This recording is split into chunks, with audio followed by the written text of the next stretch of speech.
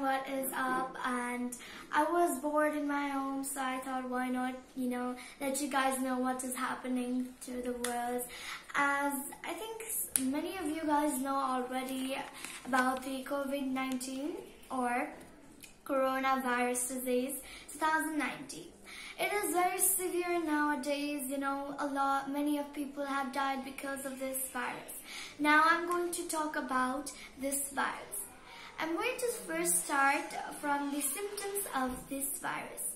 Uh, the symptoms of this virus are, this virus are fever, 99% of people have that, feeling tired, 70% of them have that, dry cough, 59% of the people have that, loss of appetite, muscles pain, difficulty in breathing and some also have diarrhea. Now we are going to talk about the prevention of the coronavirus.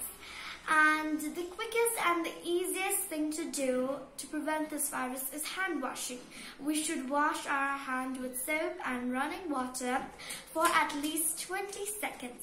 And uh, or we can use hand sanitizer after we touch someone or something and the second point is maintaining social distance. This is why we are, um, you know, staying at home.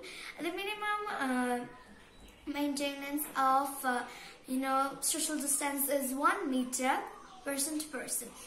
Now, the third point is practice uh, respiratory hygiene Use tissues, uh, use tissues when you are, you know, coughing or sneezing and dispose the tissue immediately or use your bent elbow when you're sneezing or coughing. The fourth point is use face masks.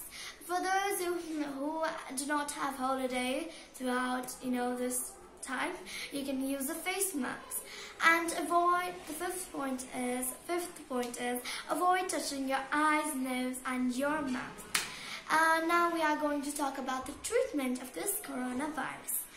Mm, there is no specific, uh, you know, treatment for this. Uh, you know, symptomatic uh, treatment are done at home. If the symptoms are very severe, we have to go to the hospital. So I hope you learned something new from me and stay safe, stay happy and healthy. Bye!